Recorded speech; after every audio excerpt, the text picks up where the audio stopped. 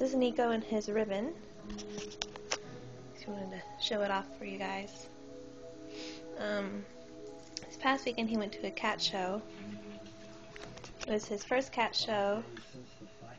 Um, they hand out these ribbons to everybody who competes, and if they place, if they make it to a final and they place, they get add-ons to their ribbon. And for his first cat show, he didn't do bad. Um, he placed in two things. He got fifth best household pet, and and he got third best short-haired household pet. And bless you.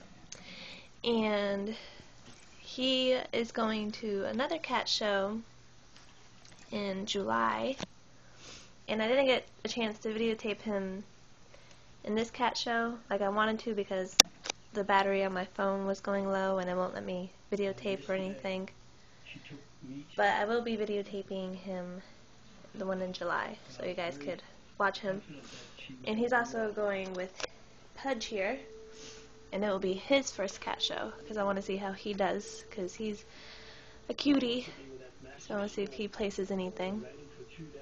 And he's a Persian mix, so he'll be in the household category along with Nikko. So we'll see how it goes.